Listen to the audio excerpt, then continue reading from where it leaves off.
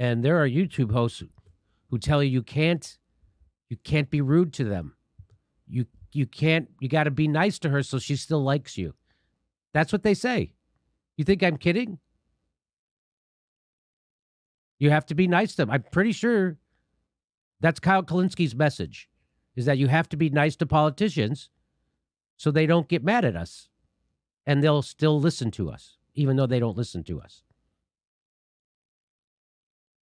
I say we should scare the shit out of every politician who isn't doing what they promised us to. We should go to their offices. We should go to their homes because uh, people are dying.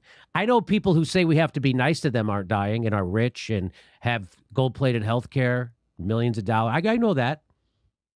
But I'm uh, I'm going to say we need to scare the shit out of politicians and make them fear us at least as much as they fear Nancy Pelosi and the establishment. Wouldn't doesn't that sound right, Ron?